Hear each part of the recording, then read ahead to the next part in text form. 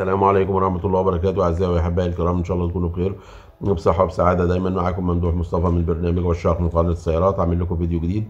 إذا عجبك الفيديو ما تنساش ال like الجميلة بتاعتك وتشترك في القناة وتفعل زر الجرس علشان يوصلك كل جديد. هنتكلم النهاردة عن كيا سبورتاج 2021 بمختلف الفئات بتاعتها. العربية بتنزل في مصر بست فئات. الفئة الأولانية اللي هي LX والفئة الثانية LX CEM والفئة الثالثة هي LX FO والفئة الرابعة LX FO plus والفئة الخامسة high line plus والفئة الستة الأخيرة top line plus العربية بتنزل 1600 سي سي 16 صباب 4 سلندر. قوة العربية 140 حصان عند 6300 لفة في الدقيقة. العزم الأقصى للدوران 168 نيوتن متر عند 4850 لفة في الدقيقة. نظام الدفع هو دفع أمامي.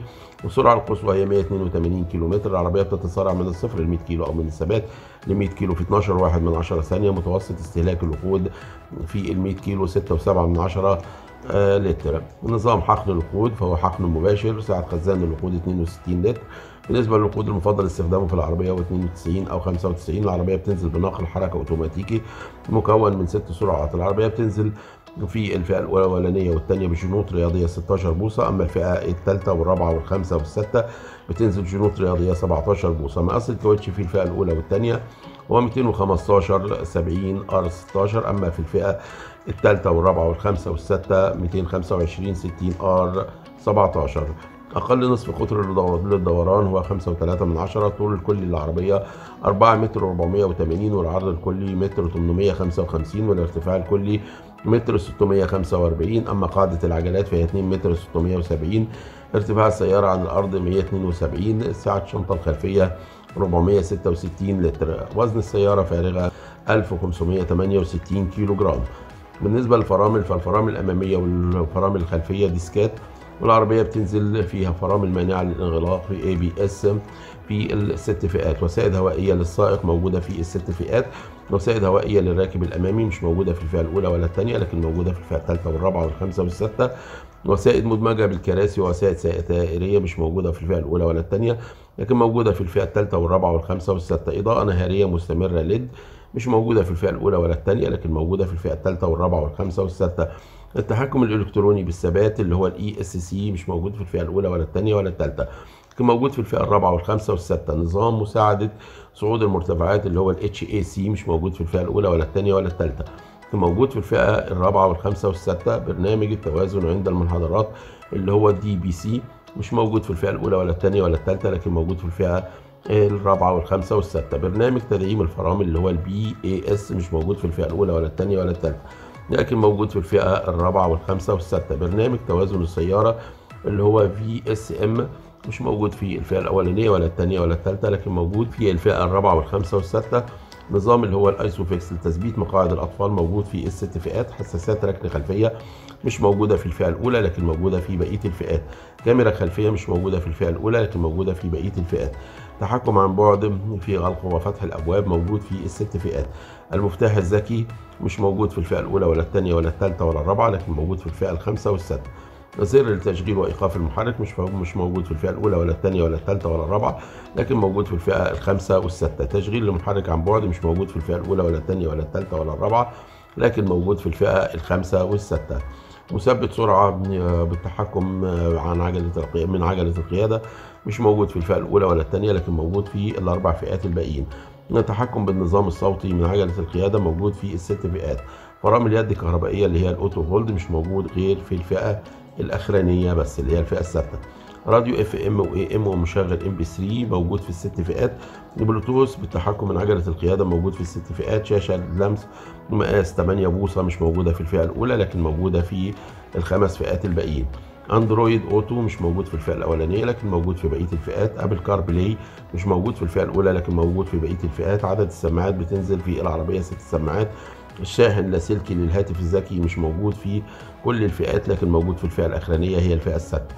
مصابيح ضباب. موجودة في الست فئات مصابيح أمامية هالوجين مش موجودة في الفئة الأولى لكن موجودة في بقية الفئات مصابيح أمامية LED بعدسة ثنائية الإضاءة مش موجودة غير في الفئة الأخرانية مصابيح خلفية LED مش موجودة في كل الفئات لكن موجودة في الفئة الستة فقط. عوارض تحميل فوق السقف السيارة اللي هي ال roof rack موجودة في الست فئات مقابض السيارة الخارجية من الكروم مش موجودة في الفئة الأولى ولا الثانية ولا الثالثة ولا الرابعة لكن موجودة في الفئة الخامسة والسادسة مراية جانبية كهربائية موجودة في الست فئات. طي المرايات الكهربائية جانبية الجانبية كهربائيا مش موجودة في الأربع فئات الأولانيين لكن موجودة في الفئة الخامسة والسادسة إشارات بالمرايات الجانبية مش موجودة في الفئة الأولى ولا الثانية لكن موجودة في الأربع فئات اللي بعد كده. حساس مطر مش موجود في الفئة الأولانية ولا الثانية ولا الثالثة ولا الرابعة لكن موجود في الفئة الخامسة والسادسة حساس إضاءة مش موجود في الفئة الأولانية لكن موجود في الأربع فئات اللي بعد كده. تحكم كهربائي في فتح وغلق صناديق صندوق الأمتعة مش موجود في الفئات الخمسة الأولانيين لكن موجود في الفئة الستة الأخرانية فقط لا غير. زجاج كهربائي أمامي وخلفي موجود في الست فئات تكييف هوائي يدوي موجود في الأربع فئات الأولانية. أما الفئة الخامسه والسادسه تكييف هواء اوتوماتي في ثنائي التبريد اللي هو الدول زون مخرج تكييف خلفي موجود في الست فئات مسند يد خلفي زائد حامل أكواب موجود في الست فئات مسند يد أمامي من الجلد موجود في الست فئات التحكم في ارتفاع مقعد السائق موجود في الست فئات زجاج مظلل الابواب الخلفية موجود في الست فئات طفاية سجائر متحركة وولاعة موجودة في الست فئات نور قراءة زائد مكان لحفظ النظارة موجود في الست فئات غطاء للشنطة الخلفية موجود في الست فئات فتحة سقف كهربائية بانوراما مش موجودة غير في الفئة الخامسة والفئة السادسه فقط. عجلة القيادة من الجلد مش موجودة غير في الفئة الخامسة والسادسه فقط. ناقل الحركه من الجلد موجودة برضو في الفئة الخامسة والسادسه فقط. مرآة ذاتية التعديل مش موجودة غير في الفئة الخامسة والستة فقط. فرش جلد مش موجود غير في الفئة الستة فقط. تحكم كهربائي لوضعية كرسي السائق في عشر اتجاهات مش موجودة غير في الفئة الستة فقط. تحكم كهربائي لوضعية كرسي الراكب الأمامي في ثمان اتجاهات مش موجودة غير في الفئة الستة فقط. التحكم في ارتفاع كرسي الراكب الأمامي مش موجودة غير في الفئة الستة فقط. مخرج شاحن USB مش موجود خلفي مش موجود غير في الفئة الستة فقط. وكده ننتقل لإيه؟ أسعار العربية. العربية كيا سبورتاج 2021 LX 399900 يعني 400000 جنيه. كيا سبورتاج 2021 ال إكس سي اي إم 1600 سي سي 409900 يعني 410000 كيا سبورتاج 2021 LX FO 1600 CC 444900 يعني 445000 جنيه. كيا سبورتاج 2021 جميع الكماليات ال إكس 1600 سي سي 454900 يعني 455000 جنيه. كيا سبورتاج 2021 Highline Plus 1600 CC 489900 يعني 490000 جنيه. كيا سبورتاج 2021 Topline Plus 1600 CC 529900 يعني 530000 جنيه. وكده أكون وصلت لنهاية الفيديو. إذا عجبك الفيديو ما تنساش تشترك في القناة وتفعل زر الجرس وال like الجميلة بتاعتك. والسلام عليكم ورحمة الله وبركاته.